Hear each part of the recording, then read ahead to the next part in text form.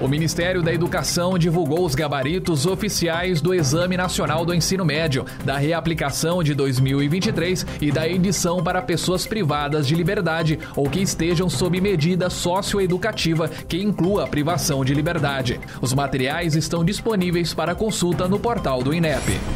A Secretaria de Saúde de Minas Gerais investiga duas mortes e nove casos de intoxicação que podem ter sido provocadas pelo consumo de bebida alcoólica adulterada. Foram apreendidas 35 garrafas de uísque falsificado que eram vendidas em um mini mercado de Betim, na região metropolitana de Belo Horizonte. As embalagens estavam corrompidas e adulteradas. O dono do estabelecimento foi preso, mas teve a soltura determinada pela Justiça.